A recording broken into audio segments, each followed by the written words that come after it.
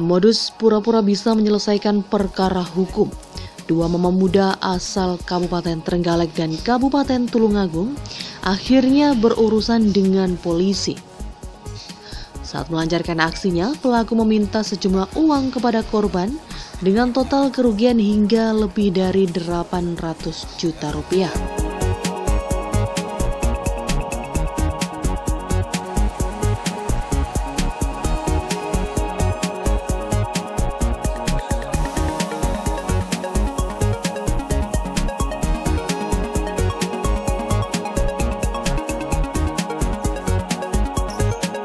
Penipuan dan penggelapan dengan modus berpura-pura sebagai maklar kasus ini diketahui terjadi sejak tahun 2016 silam.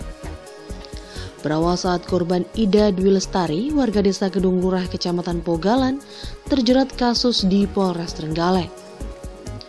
Namun setelah dilakukan penyelidikan, kasus tersebut tidak cukup bukti dan penyelidikan sudah dihentikan. Namun pelaku atas nama Fitria Dian Hapsari, warga desa Gedung Lurah, dan Dwi Suhartati, warga desa Panggung Rejo, Kecamatan Kauman, Kabupaten Tulungagung, mendatangi korban dan menakut-nakutinya. Selanjutnya pelaku berulang kali meminta uang kepada korban dengan total hingga lebih dari 801 juta rupiah. Menanggapi kasus ini, Kapolres Trenggalek AKBP Didit Bambang Wibowo mengatakan, saat mendatangi korban, pelaku mengaku bisa menyelesaikan perkara korban dengan menyetorkan sejumlah uang. Karena saat itu korban tidak memiliki uang, akhirnya korban menyerahkan satu unit mobil Toyota Rush miliknya kepada pelaku. Namun selang beberapa waktu, korban juga berulang kali mendatangi korban dan meminta sejumlah uang. Nilai kerugian diperkirakan di sini kurang lebih 800 juta yang di mana modus yang dilakukan oleh kedua pelaku. Atas nama di sini ada dua pelaku Fitria dan Dwi. Untuk Fitria di sini kondisinya kurang sehat ada yang sudah kami amankan.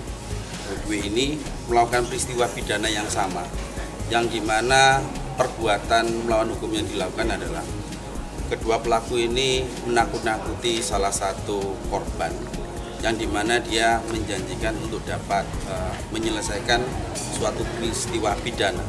Peristiwa pidananya ini sendiri terjadi pada bulan Maret tahun 2016 yang di mana korban terus dilakukan uh, upaya-upaya uh, seperti meminta sejumlah uang.